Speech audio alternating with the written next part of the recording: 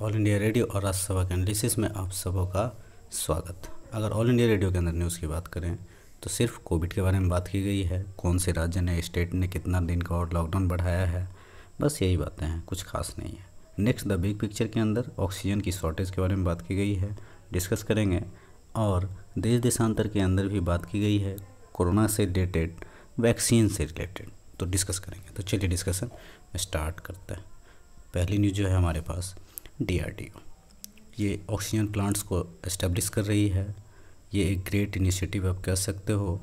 इस क्राइसिस के समय में multiply multiple ways to get oxygen बहुत सारे वेज हैं जिसकी सहायता से ऑक्सीजन बनाया जा सकता है, लाया जा सकता है। Any oxygen plant needs electricity to keep machine running and atmospheric oxygen issue क्या है इसके साथ?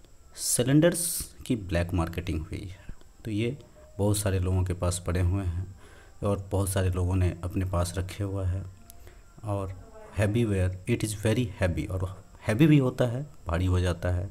डी वर्क कर रहा है इसके ऊपर। सप्लाई किस तरह से बढ़ाया जाए? और 500 प्लांट्स लगाने की बात की जा रही है थ्री मंथ्स के अंदर। क्रिटिक्स क्या है? Why only for short term ये शॉर्ट टर्म के अंदर क्यों किया जाए? ये शॉर्ट टर्म के लिए क्यों किया जाए? लॉन्ग टर्म के लिए किया जाए? क्योंकि ये तो एक डिज़ीज़ है। आगे भविष्य में भी ज़रूरत मतलब हेल्थ इंफ्रास्ट्रक्चर कुल मिला करके इतना मज़बूत किया जाए कि इस तरह की सिचुएशन ना आए। प्रॉपर प्लानिंग की ज़रूरत है। टेक्नोलॉजी की ज़रूरत है मैन पावर की ज़रूरत है तो इसको हम अचीव कर सकते हैं।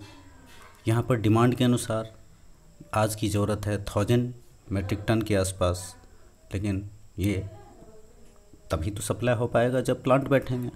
सॉल्यूशन को प्रमोट करना होगा। विलेज में क्या करना होगा? ये भी सोचना होगा। Village people need vaccine, oxygen. सही, फैसिलिटीज़ नहीं है वहाँ पे। कॉमन बातें हैं। यहाँ पे कम्युनिकेशन बढ़ाना होगा। डॉक्टर से अपॉइंटमेंट को ऑनलाइन के माध्यम से, वर्चुअल माध्यम से बढ़ाना होगा। टेक्नोलॉजी का सहारा लिया जा सकता है। यही सारे बातें की जाती हैं।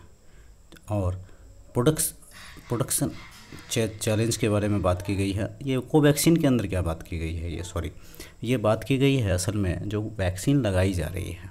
ये नेक्स्ट आर्टिकल है देश देशांतर का। जो वैक्सीन लगाई जा रही है, इसमें बहुत सारे चैलेंजेज हैं।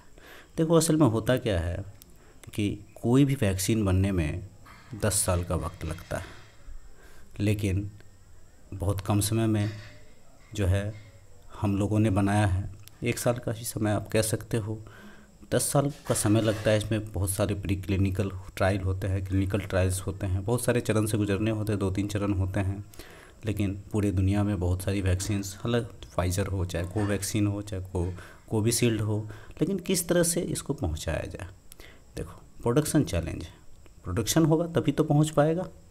आम जनता तक पेशेंट चैलेंजेस पहले तो पेशेंट समझ ही नहीं रही थी, अब समझ रही है।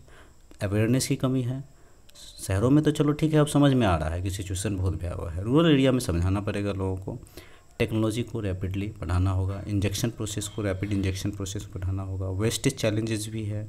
Shortage of time mutation causes extra production of vaccine for export export करने के लिए भी एक्स्ट्रा किया जा सकता है। और इसमें क्या खामियाँ आती है या फिर और भी साइंटिफिक रिसर्च करने की ज़रूरत है। तो आज के डिस्कशन में इतना ही था। Thank you thank you